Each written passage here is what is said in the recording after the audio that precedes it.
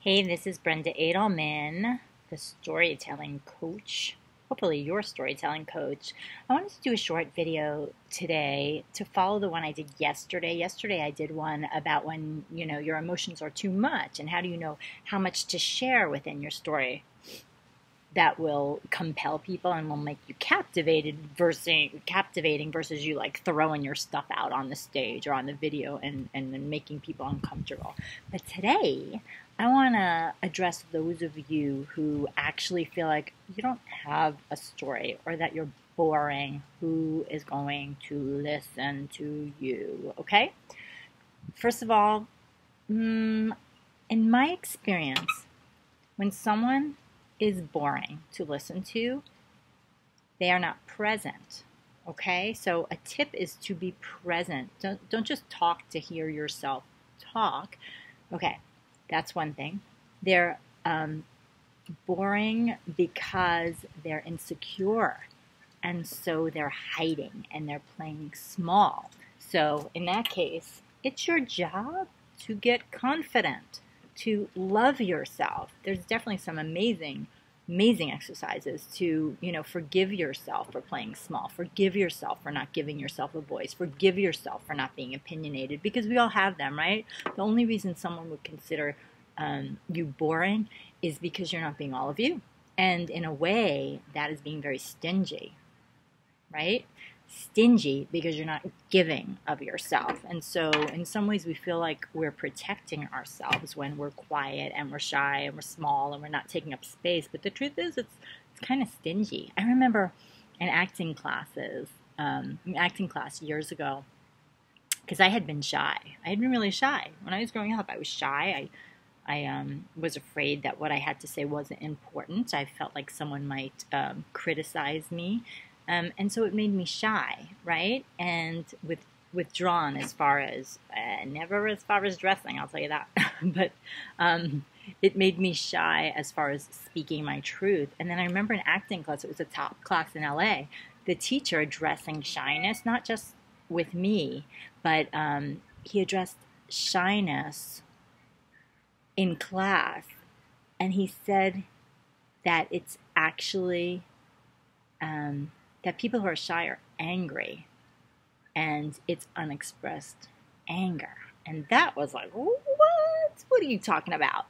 And then I realized, oh, oh, anger, that there was unexpressed anger and then it was a, an act of hostility. And I was like, what? Because actually, a lot of people I know who consider themselves shy, and I certainly was like this, it's like we thought we're good people. We know we're giving other people the space to talk, but the truth is there can sometimes be something behind that, which is mm, there's not enough room for me and them.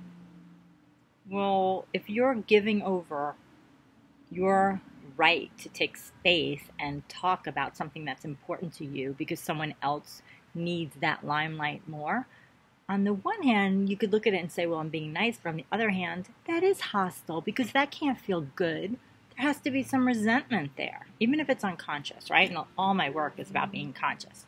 Yeah, the sun is completely in my eyes.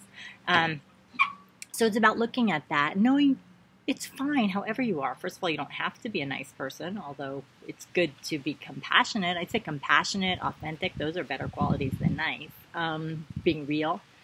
Um, so, okay, so that's dealing with shyness. So, do self forgiveness, um, love yourself, so that you don't have to get that love from outside of yourself. So you don't need that approval and you can just be yourself okay? So that's a way to stay away from being boring. And um, i'll say the third tip today would be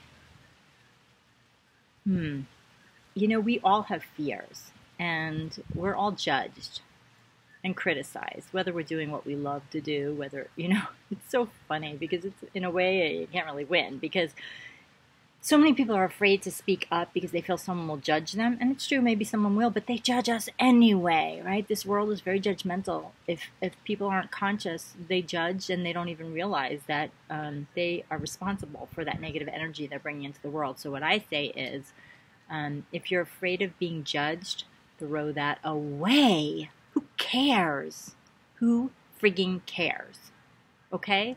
Like, there's an element of you having to know that if someone judges you, and I'm not talking about constructive feedback, I'm talking about if someone judges you, that's their issue. I learned that a long time ago, and that was really helpful. Okay, so those are the three tips for today for people who think they um, they don't have a story to tell. I would challenge you. I bet you do have a story to tell because you've lived a life, and the way the human condition is, we have stories. We live through pain. We live through betrayal. We live through um, not having enough. We live through fear. We live through love. We live through connection. You know, that is humanity. And I know that even if you've lived, let's say, a smaller life than other people, as far as maybe not having as much drama, not having that rags to riches story, there's still something in there. And I challenge you to find it, to get really real and authentic. And if you need help emotionally, um, you know, because a lot of people cover up because they don't want to